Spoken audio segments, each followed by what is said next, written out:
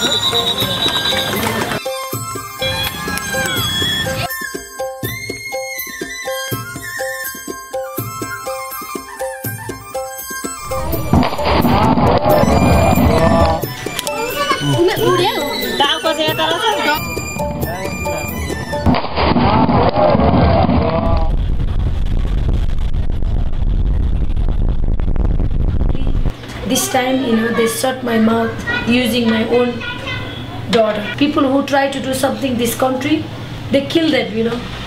It's very sad.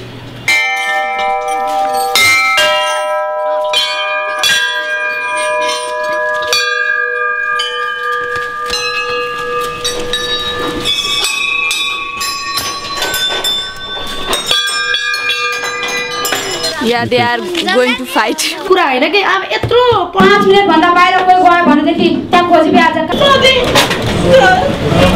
त्यस्तो गर्नु पाइन्छ राति आउनु पाइन्छ स्कुलको मान्छेलाई मार्दै गएको पनि देखाएको छ हाम्रो त्यस्तो बच्चाहरूलाई हामीले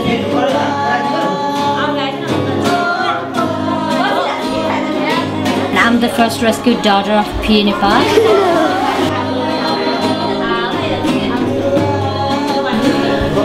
Beautiful in my heart.